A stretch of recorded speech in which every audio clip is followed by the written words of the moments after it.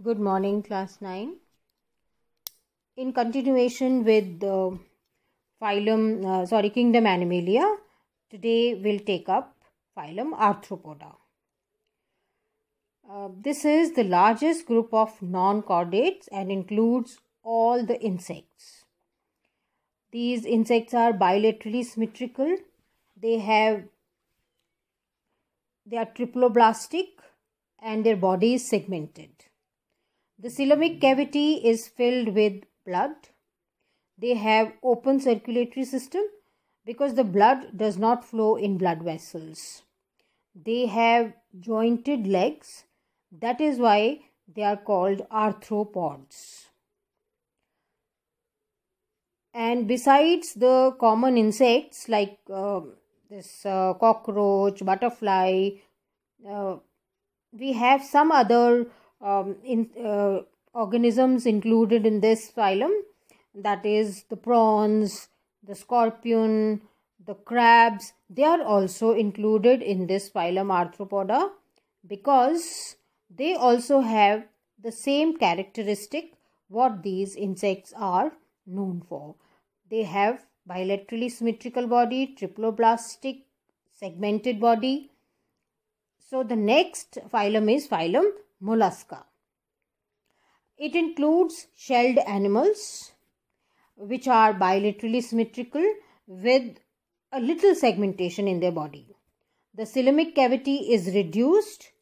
They have open circulatory system like arthropods. They have a foot-like organ which is used for locomotion and they have kidney-like organ for excretion and these animals are also found in water especially in marine water. The uh, common examples of this phylum mollusca are the snails mussels octopus. So this picture as you can see unio and uh, these mussels and snails are other examples. Next is phylum echinodermata echino means spines or hedgehog and derma means skin. That is why they are called echinodermata because they have spiny skin. They are triploblastic with a coelomic cavity. They have hard skeleton made up of calcium carbonate. They have a water driven tube system which is uh, actually used for locomotion and they are exclusively free living marine animals. And the common examples of echinodermata includes the starfish, sea urchin, and uh, as you can see in this figure, these are the common examples of phylum echinodermata. The next is protochordata.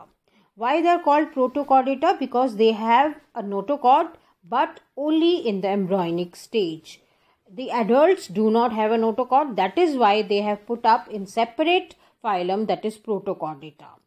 They are bilaterally symmetrical, triploblastic with coelomic cavity and they have muscles for locomotion and they are also marine animals and uh, from here only after pro- protochordates the next phylum is you know the chordates the chordates start which have then i'll tell you what chordates uh, are and what is the difference between protochordata and chordata the common example of this protochordates is uh, Amphioxus, Herdmania, etc. The next is the largest uh, and the most advanced group of animals which have uh, you know proper uh, organ system level of organization. They come under this phylum vertebrata. Why they are called vertebrates? Because they have the vertebral column or the backbone and also internal skeleton where the bones are the points of attachment of muscles which helps the animals in movement and locomotion. They are these all these animals are bilaterally symmetrical triploblastic they have coelomic cavity and they have a segmented body they have complex differentiation of body tissues and organs and they are warm blooded animals. Uh, not all of them are warm blooded. Uh, some of them are cold blooded. The uh, I'll tell you later when we'll take up this, and they have notochord and dorsal nerve cord.